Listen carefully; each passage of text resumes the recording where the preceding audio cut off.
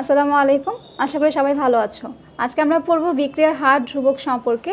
তো আমরা এই আগের পর্বে বিক্রিয়ার হার সম্পর্কে পড়েছিলাম। তো আমরা সেখানে জেনেছি যে একক সময়ে যেটুকু বিক্রিয়কের পরিমাণ হ্রাস পায় কিংবা উৎপাদের পরিমাণ বৃদ্ধি পায়, সেই পরিমাণটুকুকে আমরা বলি বিক্রিয়ার হার। এবং বিক্রিয়ার হারের যে সমীকরণটা সেটা দেখেছিলাম R is equal to DC by DT অর্থাৎ আরকে বিক্রিয়ার হার বলা হলে আর ইজ ইকুয়াল টু বিক্রিয়কের ঘনমাত্রার পরিবর্তন ডিভাইডেড বাই ব্যয়িত সময়। তাহলে বিক্রিয়কের ঘনমাত্রার হ্রাস কিংবা উৎপাদের ঘনমাত্রা বৃদ্ধি, এটাকে আমরা বলেছি ডিসি ডিভাইডেড বাই সময়ের পরিবর্তনটাকে আমরা বলেছিলাম ডি তাহলে আর ইজ ইকুয়াল টু সূত্র ছিল ডিসি বাই ডিটি এখন যখন আমরা ভরক্রিয়া সূত্রের সাথে বিক্রিয়ার হারে তুলনা করেছি, তখন আমরা বলেছিলাম ভরক্রিয়া সূত্র অনুযায়ী কোনো একটা রাসায়নিক বিক্রিয়ার হার বিক্রিয়কগুলোর সক্রিয় ভরের সমানুপাতিক।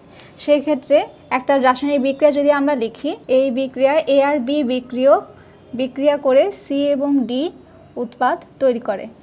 তাহলে এই বিক্রিয়ার ক্ষেত্রে যখন আমরা রাসায়নিক বিক্রিয়ার হার লিখব, তাহলে আর ইজ প্রপোর্শনাল টু কারণ বিক্রিয়ার হারটা হচ্ছে বিক্রিয়কগুলোর সক্রিয় ভরের সমানুপাতিক। তাহলে এখানে বিক্রিয়কের সক্রিয় ভর হবে মোলার ঘনমাত্রা। তাহলে এ মোলার ঘনমাত্রা, আর এখানে যেহেতু মোল সংখ্যা এ, পাওয়ার হিসেবে আসবে এ ইন্টু বি এর মোলার ঘনমাত্রা, ওর উপরে পাওয়ার হিসেবে আসবে বি তো এখানে যেহেতু আমরা সমানুপাতিক চিহ্ন দিয়েছি, সমানুপাতিক চিহ্নটাকে উঠাতে হলে আমরা হচ্ছে সমান সমান চিহ্ন দিয়ে আরেকটা ধ্রুবক ব্যবহার করি।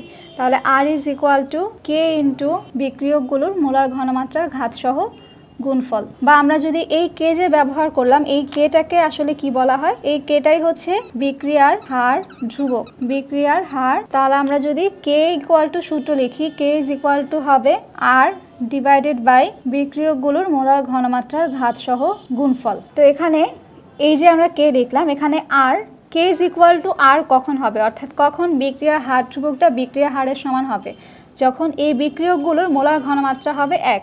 অর্থাৎ বিক্রিয়কের মোলার ঘনমাত্রা এখানে যদি আমরা এক বসাই, তাহলে কে ইজ ইকুয়াল টু হবে r divided by one to the power one into one to the power one তো ultimately k is equal to হবে আর তো এখান থেকে আমরা আসলে বিক্রিয়া হার ধ্রুবকের সংজ্ঞাটা বের করতে পারি, যে একক ঘনমাত্রার বিক্রিয়ক সমূহের বিক্রিয়ার হারকে বলা হয় বিক্রিয়ার হার ধ্রুবক।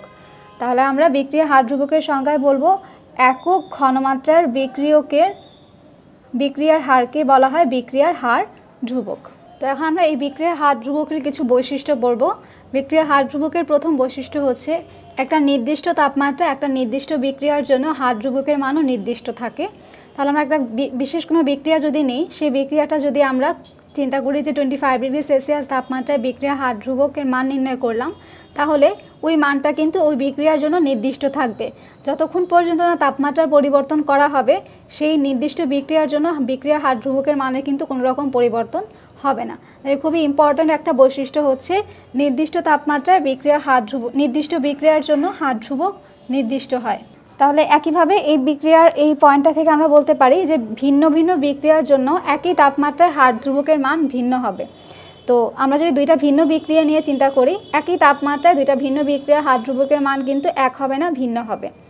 আরেকটা ইম্পর্ট্যান্ট বৈশিষ্ট্য সেটা হচ্ছে, কোনো বিক্রিয়ার হাত ধ্রুবকের মান যত বেশি, সেই বিক্রিয়াটা তত দ্রুত সংঘটিত হয় এবং হাত ধ্রুবকের মান যত কম, সেই বিক্রিয়াটা তত ধীর গতিতে সম্পন্ন হয়। তাহলে আমরা বিক্রিয়ার হাত ধ্রুবকের মান দেখে আসলে একটা অনুমান করতে পারি বিক্রিয়াটা কতটা দ্রুত সংঘটিত হবে কিংবা কতটা ধীরে সংঘটিত হবে। তাহলে এই ছিল আজকে আমাদের বিক্রিয়া হাত ধ্রুবক সম্পর্কে আলোচনা। তা আমরা আজকে বিক্রিয়া হাত ধ্রুবক নির্ণয় পড়লাম, বিক্রিয়া হাত ধ্রুবকের সংজ্ঞা পড়লাম এবং এবং বিক্রিয়ার হাত ধ্রুবকের বৈশিষ্ট্য পড়লাম। তা আশা করি সবাই বুঝতে পেরেছ। সবাইকে অসংখ্য ধন্যবাদ ভিডিওটি দেখার জন্য।